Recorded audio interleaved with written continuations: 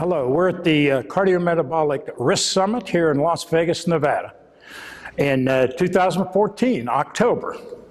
I'm here with Dr. Eileen O'Grady, and uh, Dr. O'Grady just gave a, a, an excellent talk talking about all the behavioral things that we need to think about with the cardiometabolic risk syndrome.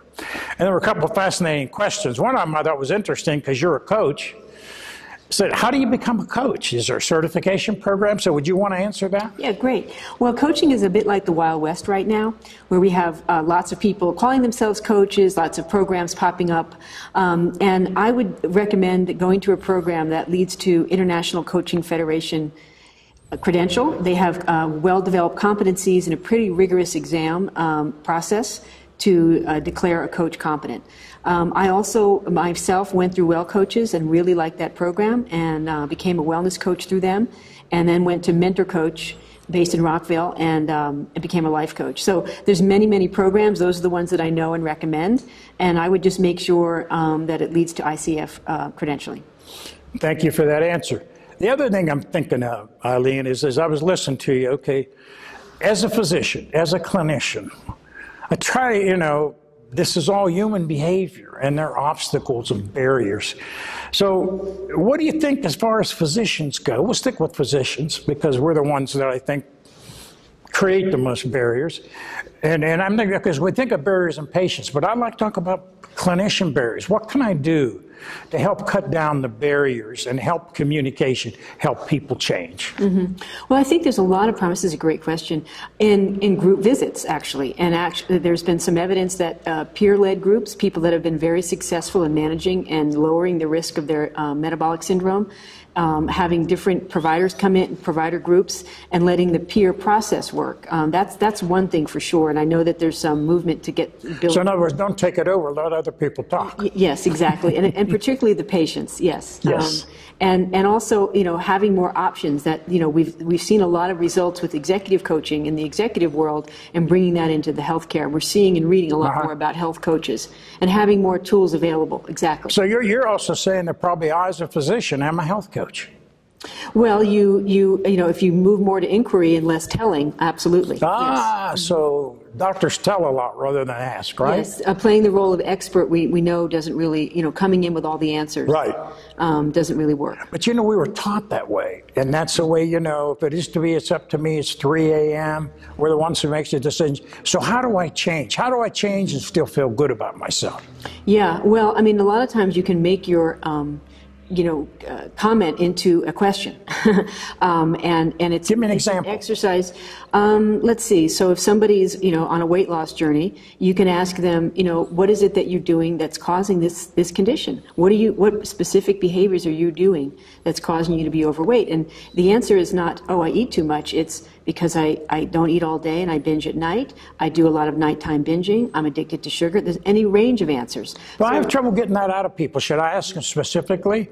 Do you think things like nighttime binging cause the problem? You could offer a range of options that might be in, in their Okay. way, and there has to be trust and, and some real trust in that relationship that they're going to open up to you. This Ah. okay. doesn't. Some, How do I know when there's trust in the relationship? Well, when they start to share intimate things, Ah. there has to be space. There has to be real concern and interest and curiosity in that person.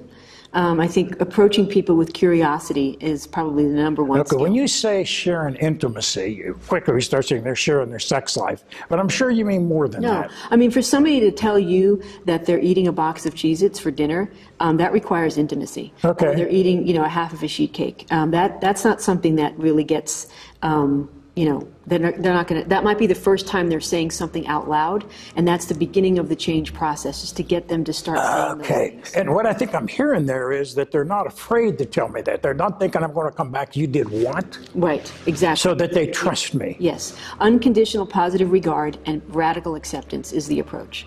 Now, and- Excellent. And, um, people are doing all kinds of disordered eating in this country. We're all living in a toxic food environment. It's everywhere. And I say that unless you have a plan going forward, particularly around eating, you will be overweight. It, it is that easy to have. right, so it's toxic eating, Mm-hmm. and you're afraid to share it. All right, do you think there's a biological reason for the toxic eating? Or is that all Yeah, I mean, sometimes people are not. It depends, and sometimes people are eating to their their their boss, with the relationship with their boss or their spouse. They're eating to things. They're eating to soothe, eating to numb out. I mean, that that can absolutely be uh, Right. the case. Sometimes it's knowledge. They they think that you know eating. Um, Cereal in the morning, um, or you know, muffins is a good thing, and Right. so so some some of it, it's but it's often not education. It's often there's an emotional underpinning to it. So it seemed like I should be asking questions like, when you eat certain foods, do you feel they make you feel better? Would that be a good question to ask? Mm-hmm. Yeah, well, or does it hold you? So, so part of the thing, you know, with breakfast especially, is does it hold you? So, um, people are eating a lot of, you know, junk food, but it's not satisfying. So, one of the, the, the things that I do is have people eat beautiful food um, in variety, and they have to actually spend more money than they ever have Right, before. That you should right. be eating beautiful food that anyone watching you would be jealous of. What's beautiful? Well, you know, eating, um, you know, a, a piece of beautifully prepared steak with some beautiful salad on the Ah, side, or some. Brussels sprouts, where it's colorful and it's appealing and it's and it's pleasing. And, and if you're vegetarian, there's options as well, so that the food has a lot of variety. Um, you know, it's just junk food. We all Right. know it doesn't feel good and it doesn't hold you. It doesn't cause satiety at, at all. It, it lasts very short, and then you're hungry. So it sounds like what you're teaching them is value of food, teaching them why they eat, Mm-hmm. and then it's helping me as a clinician know how I might discuss it with them. Yeah, I mean, food is very sensuous, right? Uh-huh. And we get these messages. And that, you know, if you want to go on a weight loss journey, it's learning how to relate to food differently. To me, it's about getting that relationship right. And, and that's why I often don't bring in exercise until people are down 40, 50 pounds. And then they start saying very organically, Eileen, I'm ready to start moving. Oh, good. And so it's, they're not co-equal. It's all about the eating. You can't exercise your way out of 100 pounds. It's all about getting in right relationship with food and eating beautiful, healthy food, real food, and relating to it in that way. Okay, I'm gonna I'm gonna challenge you on that. You're saying I wait till they lost 40 pounds before I start any type of exercise? Okay, so I would never ever tell anybody not to exercise. That is not what I would. Right, That's not right. the message. But if someone's coming to me and they um, are desperate to lose weight, that the exercise and and the uh, eating are not co-equal. Uh-huh. Um, there's a disordered eating pattern going on. So laser beam focusing on that. And what we know about goal setting and willpower is that it weakens over time. Uh-huh. So if we add too many things at once, uh, it'll fail. Okay. So to set up for success is we're going to get your eating straightened out, and then one, once that's successful and on the way, we never bring up food again. After Okay. the first couple of weeks, they've got it, they're doing Okay. it, and then we start addressing the spouse, the boss, the, the exercise, those other things, bringing Okay. things in. Okay, so, great. so hear me on that. There is nothing better you can do for yourself than to exercise every day, and um, you know, and that's not something that's going to happen, you know, overnight. Sure, no, absolutely. Okay, but a lot of wisdom there, Dr. Grady. Thank you very much. Thank you so much Thanks for for having me. being It's great to be here. Okay.